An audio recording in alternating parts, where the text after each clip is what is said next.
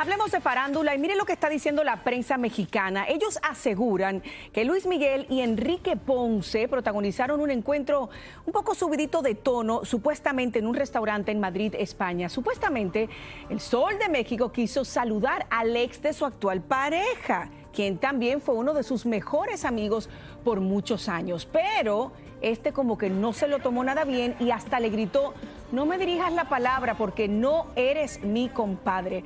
Por su parte, algunas personas dicen que, mm, mm, que esto no pasó así y hasta ahora ninguna de las partes se ha referido a lo sucedido.